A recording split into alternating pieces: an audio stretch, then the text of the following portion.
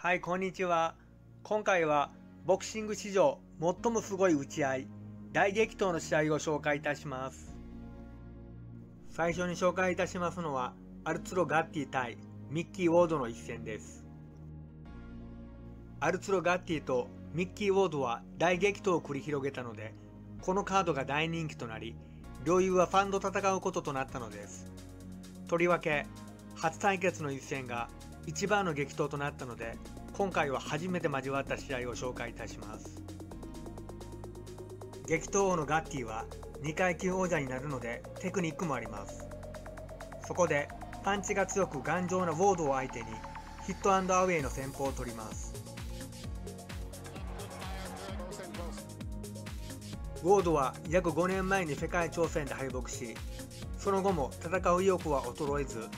36歳ながらこの一戦も高いモチベーションを持って臨んだのです。ウォードはガッティ同様かなり打たれ強いので、ガッティのパンチにひるまず、どんどん前に出てくるのです。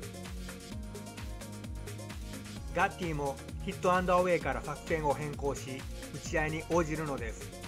ガッティは多くの試合で激闘を演じた打ち合いが得意なボクサーなのです。序盤はガッティ優勢でしたが、5ラウンドあたりからウォードが打ち合いで打ち勝つようになってきます。特にウォードのボディ攻撃がかなり強烈で有効です。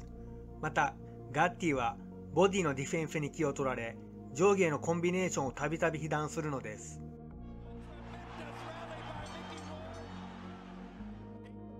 両者、非常に多くのパンチを被弾して、共にダメージがありますが、8ラウンドになっても打ち合いは続いているのです。ここまでポイントではガッティがやや有利ですが、9ラウンドにウォードが巻き返すのです。ボディ攻撃でダウンを奪ったウォードが猛攻撃をするのですが、ガッティは相当頑丈です。特に顔面での攻撃では倒れないのです。驚いたことにダウンを奪われ猛攻撃を受けていたガッティが反撃に出ました。打たれ強いガッティは回復も早いようです。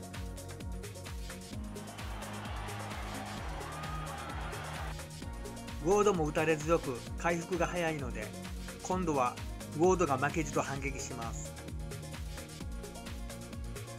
最終の10ラウンドも共に打ち合います。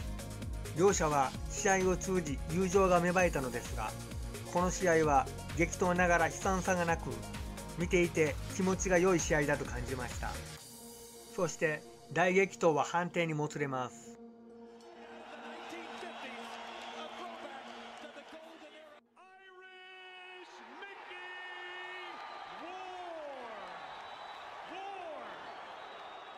その後第2戦、第3戦と両雄の戦いは続きますが、第2戦、第3戦とガッティが判定勝ちをものにしました。この両雄の戦いは3戦ともノンタイトル戦でありながら、ベストマッチに選ぶファンが多かったのです。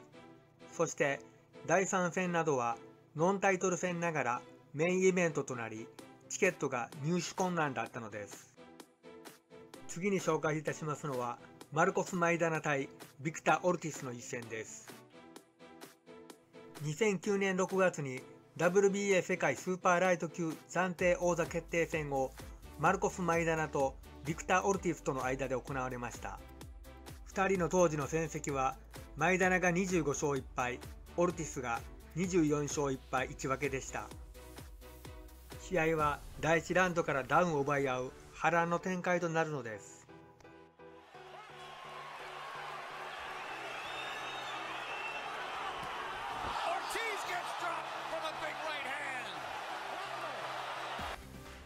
両者ともにダウンを奪い、そして1ラウンドから猛烈に打ち合うのです。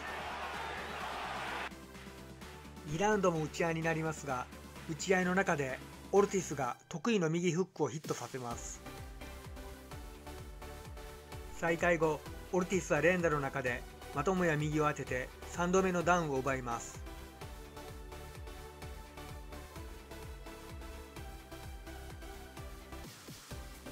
5ランドもオルティスが連打を放ちますがマイダナも逆に大きな右フックを使ってオルティスを追い始めます。6ラウンドが始まるとマイダナがパンチを振るってオルティスを追いかけ連打を放ちます。オルティスはこれまでファンドダウンを奪っていますがこの連打にたまらずダウンするのです。まぶたをカットしたこともありドクターが試合続行にストップをかけマイダナの TKO 勝利となったのです。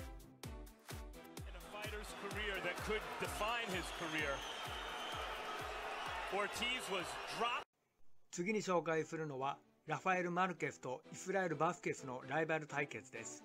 この両雄は4度にわたって激闘を繰り広げたのです。WBC と IBF の世界スーパーバンタム級王者イスラエル・バスケスは前の防衛戦では長谷川選手を KO したジョニー・ゴンザレスを KO した激闘型ボクサーです。劣勢でも一発で逆転するので非常に人気があるのです。一方バンタム級から上げてきたラファエル・マルケスはあの4階級制覇王者のファン・マヌエル・マルケスの弟で兄以上の激闘型ファイターです。4階級制覇王者の兄は弟ラファエルがいつも打ち合うので心配で弟の試合が見れないと言っているのです。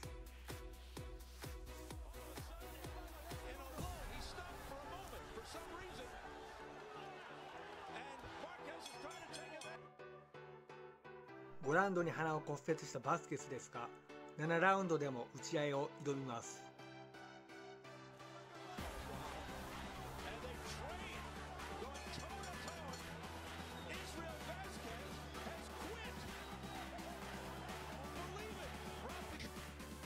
第一戦から5ヶ月後に両雄は再び相まみえます。序盤から早くも打ち合いになり第一戦以上の激しい試合となるのです。3ラウンドには早くもマルケスがダウン寸前に追い込まれるのです。ダウン寸前のマルケスはカウンターで迎え撃ち有効打をヒットさせます。バスケスも打たれるとすぐに反撃に転じますので攻守がたびたび入れ替わるのです。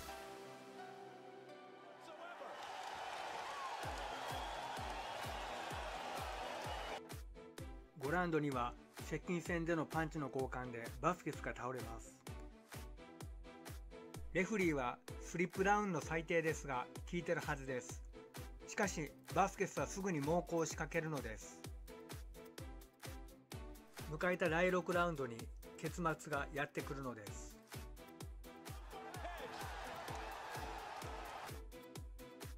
ダウンを奪ったバスケスはいつも以上にマルケスに襲いかかります。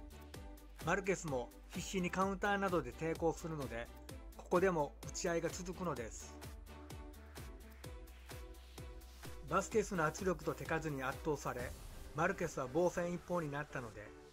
レフリーがストップするかどうか迷っています。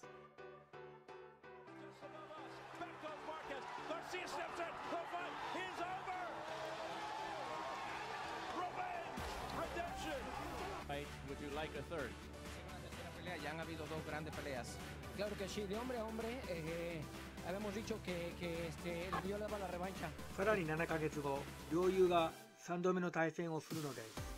またしても初回から打ち合になるのです。4ラウンドに試合は大きく動きます。ダウンをしたバスケスですが、起き上がるとすぐに反撃に出るのです。どちらがダウンしたかわからないほどです。5ラウンドにマルケスは強烈な右をパンチをヒットさせますがそれでもバスケスは前に出るのです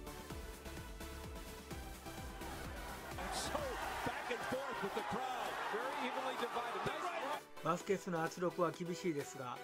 マルケスは中盤からたびたびカウンターをヒットさせてくるのです。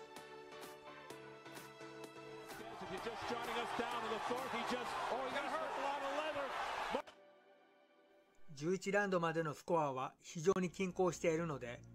12ラウンドのゴンクと同時にバスケスは猛威を振るってきます。マルケスがパンチを返してもバスケスはお構いなしにどんどんパンチを打ってきてマルケスを追い詰めるのです。最終ラウンドのこのバスケスのすごい猛攻にさすがのマルケスも防戦一方となるのです。マルケスがダウンから起き上がり再開後に試合終了となります。114 to 111 in favor of Israel Vasquez. In favor of Rafael Marquez. 113 to 112 in favor of the winner and still champion Israel Magnifico